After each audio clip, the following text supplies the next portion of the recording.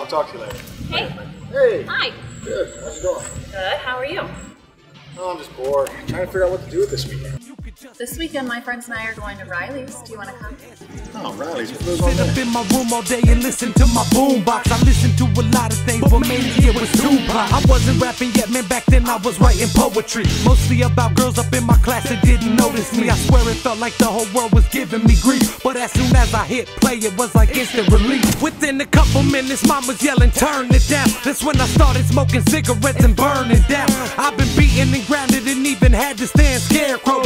Punishment that hurt was taking away my stereo. I wasn't a bad kid, I was starving for attention. So I gotta thank God for this wonderful invention. Looking back on my life, just don't know how I got through it.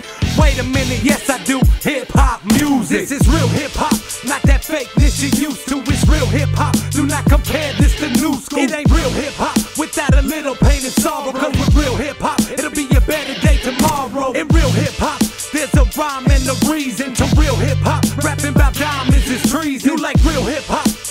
know that you feel this. Cause real hip hop is reserved for the real. My first love in hip hop was Warren G and Nate. A bitch named Annie Mae made me wanna regulate. Then Pac and Dre showed me Cali love and I was smitten. Got on board with Nas next. Then it was written. Todd Shaw told me don't stop rapping, so I got in the zone. I was ready to die with Biggie at the crossroads with Bone. I'm a history buff, so I went back and soaked up the classics. Run DMC to Doggystyle, Big Daddy Kane to Illmatic. Then I got into Wu Tang, into the 36 chambers. Then Shady, Big L, and Scarface went on the playlist. OutKast, Fabolous, Mobb Deep, and Big Pun. Beatnuts made my head nod. Master P made me say, Redman's malpractice, followed by a blackout with meth. I knew back then I'd love hip hop to my death. Now I love me some Crooked I and Chino XL. Rhymes- Always different down there. Nice. Now, where's this place located? It's on Main Street, 155 West Main Street down here. real hip hop. Do not compare this to new school. It ain't real hip hop without a little pain and sorrow. Cause with real hip hop, it'll be a better day tomorrow. In real hip hop,